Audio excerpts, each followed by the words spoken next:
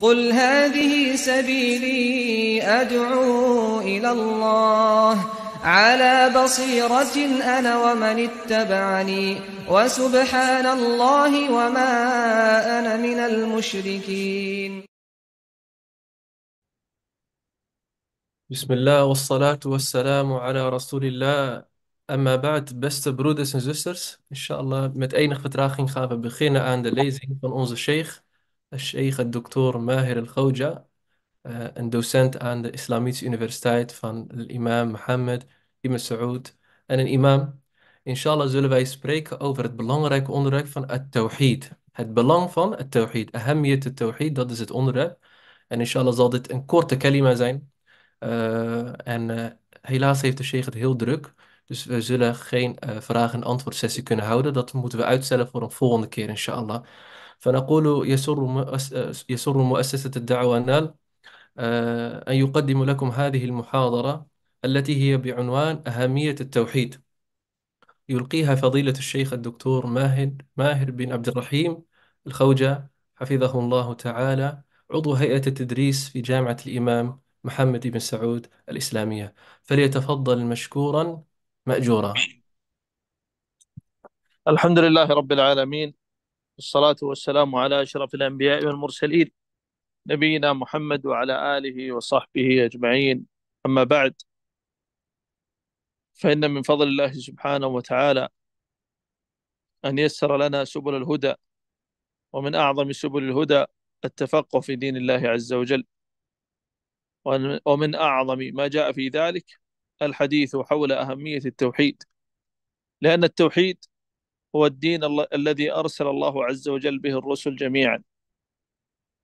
كما قال الله عز وجل وما أرسلنا من قبلك من رسول إلا نوحي إليه أنه لا إله إلا أنا فاعبدون.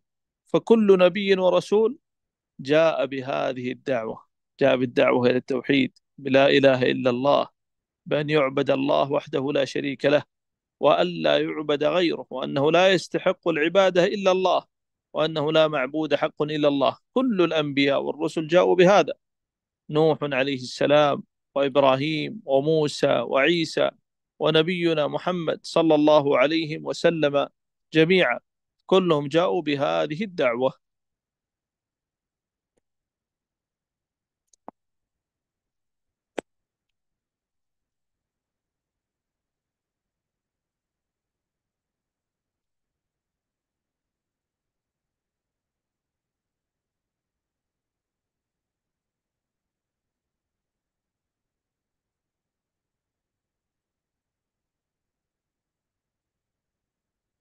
We hebben geen boodschapper gestuurd, behalve dat we hem hebben meegezonden dat alleen Allah, ta'ala, de enige is die het recht heeft om aanbeden te worden. Dus alle profeten voor ons, dit was hun missie, dit was hun pad en dit was hun weg om Allah, ta'ala, één te maken in de aanbidding, zoals de profeet Noor en de Rasul Noor, alayhi salam, en ook Ibrahim en ook Musa en ook onze profeet Mohammed, sallallahu alayhi wasallam.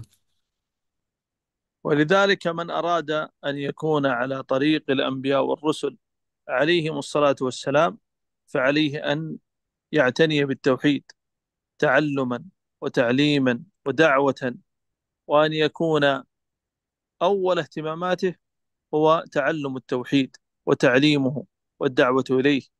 فهذا هو طريق الأنبياء والرسل عليهم الصلاة والسلام كما قال الله عز وجل ولقد بعثنا في كل أمة رسولا أن اعبدوا الله واجتنبوا الطاغوت والأنبياء لما جاءوا بالدعوة إلى التوحيد جاءوا بالدعوة إلى هذا الأمر العظيم من أول يوم وإلى آخر يوم فارقوا فيه الدنيا.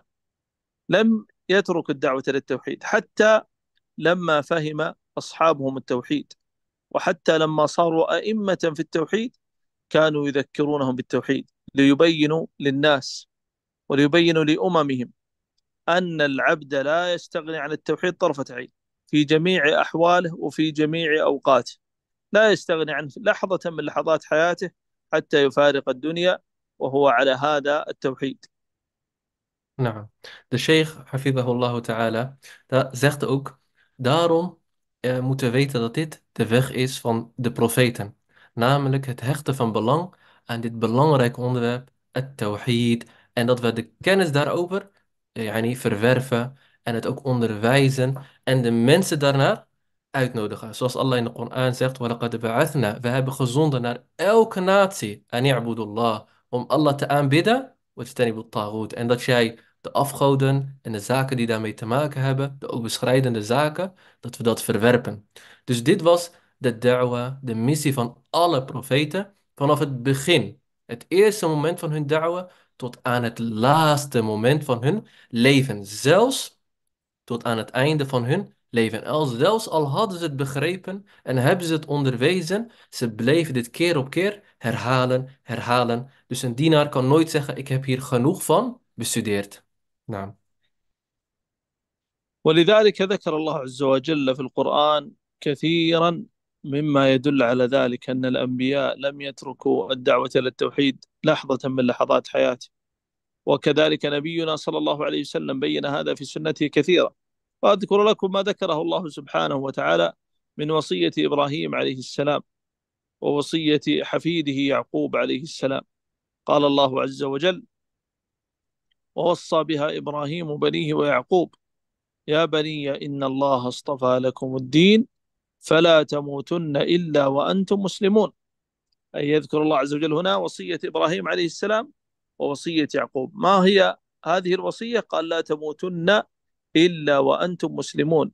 أي يثبتوا على الإسلام حتى الممات. وهنا الإسلام المراد به التوحيد. الإسلام هنا المراد به التوحيد. هو الإسلام الذي جاء به الأنبياء والرسل عليهم الصلاة والسلام جميعا. فقال لهم اثبتوا على التوحيد حتى الممات لا تموتن إلا على التوحيد اثبتوا على التوحيد حتى الممات.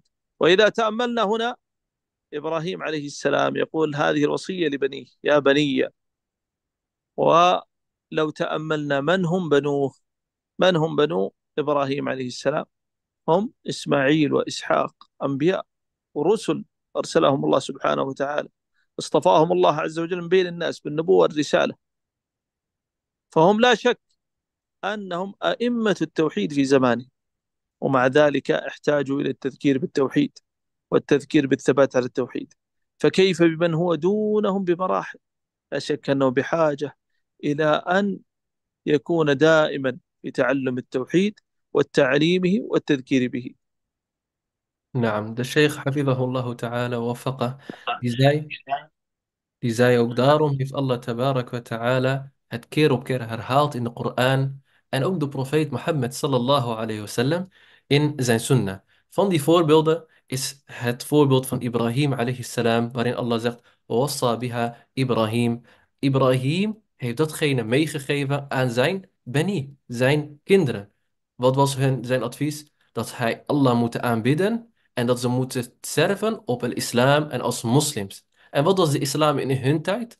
Islam is natuurlijk altijd het eenmaken van Allah, tabaraka wa ta'ala. En wie sprak hij? Hij sprak zijn bani aan, zijn kinderen. En zijn kinderen waren Ismaïl en Ishaq. Ze waren al yani, mensen met veel kennis over het tawhid. En desondanks bleef hij belang hechten aan dit belangrijke onderwerp, zelfs voor zijn kinderen die al op deze fitra waren en op deze leiding waren. Dus hoe zit het dan met anderen dan zij? Zij dienen nog meer hun best te doen om dit begrip te verkrijgen. Nou. وكذلك ذكر عن يعقوب عليه السلام وصية مفصلة فقال أم كنتم شهداء إذ حضر يعقوب الموت إذ قال لبنيه ما تعبدون من بعدي قالوا نعبد إلهك وإله آبائك إبراهيم وإسماعيل وإسحاق إلها واحدا ونحن له مسلمون فهنا يعقوب انظروا إلى هذه الوصية يسألهم قبل وفاته ما تعبدون من بعدي؟ مع أنه رباهم على التوحيد. وهم من؟ هم يوسف عليه السلام وأخوة يوسف. يوسف نبي من الأنبياء. وإخوته رباهم أبوهم وهو نبي يعقوب عليه السلام رباهم على التوحيد. وهم أئمة التوحيد في زمانه. ومع ذلك يؤكد عليهم هذه المسألة. ما تعبدون من بعدي؟ هم كل حياتهم وهو يرى أنهم لا يعبدون إلا الله. ولكن أراد أن ينبههم إلى أن هذه المسألة لا يستغني عنها المؤمن أبدا في حياته. لا بد أن تكون دائما حاضرة في حياته. أنه لا يستحق العبادة إلا الله لا يتعلق القلب إلا بالله لا يرجو إلا الله ولا يخاف إلا من الله ولا يدعو إلا الله ولا يستغيث إلا بالله. لا يدعو أصحاب القبور والأضرحة والأموات وإنما عبادته لله وحده لا شريك له. De sheikh heeft vervolgens een tweede voorbeeld gegeven. Mogen Allah hem belonen, jazahullah khairan. Uh, het, het voorbeeld van Yaqub alayhi salam. Allah zegt, Am kuntum shuhada, waren jullie getuigen toen, eh, toen Yaqub het moment van zijn sterven nabij was. Toen zei hij, Ma ta'buduna min ba'di, wat zullen jullie aanbidden na mij? En wat zeiden zijn kinderen? Wij zullen uw God aanbidden, Allah tabaraka ta'ala. En de God, de enige ware God van uw voorvader. En wie waren dat? Onder andere natuurlijk Yusuf alayhi salam. Heel hun leven waren ze al gewend om Allah te aanbidden. En desondanks ging hij op zijn sterfbed op het laatste moment alsnog zijn nakomelingen meegeven om Allah te aanbidden. En hen daarop aansporen en bevragen, wat zullen jullie aanbidden na mij heen gaan? En ze zeiden, wij zullen Allah ta'ala aanbidden. Dus desondanks hield hij tot het laatste moment hen erop aan om Allah te aanbidden. En alleen, alleen Allah is degene die het recht heeft om aanbeden te worden. Niets en niemand anders heeft het recht om aanbeden te worden. Dus het is een grote fout wat andere mensen doen, dat ze andere zaken aanbidden, zoals adriha en eh, laten we zeggen graven en tombes en dergelijke zaken. Nee, de aanbidding is slechts voor Allah, tabaraka wa ta'ala. Naam. وكذلك نبينا صلى الله عليه وسلم في آخر لحظات حياته كما في الصحيحين كان يحذر من اتخاذ القبور مساجد وهنا السؤال يحذر من؟ يحذر أئمة التوحيد. حذر أبا بكر وعمر وعثمان وعلي وأم المؤمنين عائشة رضي الله عنهم وأرضاهم أجمعين وغيرهم من أصحاب النبي صلى الله عليه وسلم. هو الذي علمهم التوحيد. وكانوا أئمة التوحيد في زمانهم هو يعلم ذلك عليه الصلاة والسلام ولكن أراد أن يبين له أنه لا غنى للعبد عن التوحيد. هذا في حق سادات الأولياء من هذه الأمة.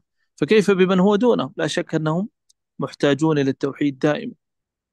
محتاجون إلى أن يتعلقوا بربهم جل في علاه وأن يتعلموا التوحيد وأن يعلموه وأن يذكروا به وأن لا يستغنوا عنه طرفة عين. هذا لو فهموه فكيف إذا جهلوا شيئا كثيرا من أحكامه؟ فنبينا صلى الله عليه وسلم يبين لنا ذلك أننا بحاجة إلى التوحيد في كل لحظة من لحظات حياتنا حتى لو فهمنا التوحيد. فكيف إذا جهلنا كثيرا من أحكامه أو شيئا من أحكامه Naam. De sheikh, hafidhahullah, is verder gegaan met een derde voorbeeld. Het voorbeeld van onze profeet Mohammed, sallallahu alayhi wasallam. Dat hij zelfs op zijn sterfbed de mensen erop aanspoorde om Allah één te maken. Op te passen voor de shirk als het gaat om de graven en dergelijke. En hij gaf dit advies aan wie op zijn sterfbed? Let op. Hij gaf dit advies aan de sahaba zoals Abu Bakr radiyallahu anh en Umar en anderen.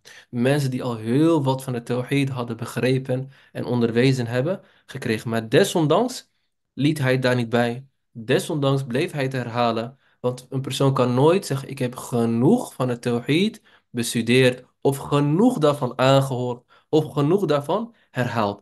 Een abd, een dienaar, dient zich vast te klampen aan Allah en niets aan niemand anders te aanbidden dan Allah tabaraka wa ta'ala. En anderen te onderwijzen in dit belangrijke onderwerp. En ook je kinderen dit mee te geven.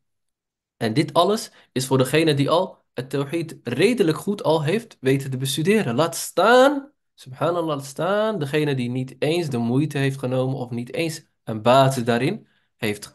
Naam. هذا وأسأل الله عز وجل أن يجعلنا من عباده الموحدين المخلصين المخلصين Naam. وأن يرضى عنا وأن يرضينا وأن يوفقنا لما يحب ويرضى وأن يرزقنا علما نافعا وعملا صالحا متقبلا. وصلى الله وسلم على نبينا محمد وعلى آله وصحبه. والسلام عليكم ورحمة الله وبركاته.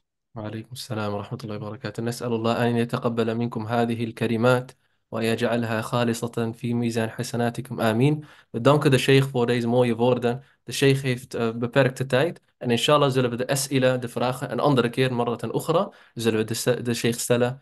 هذا هو وصلى الله وسلم على نبينا محمد وعلى آله وصحبه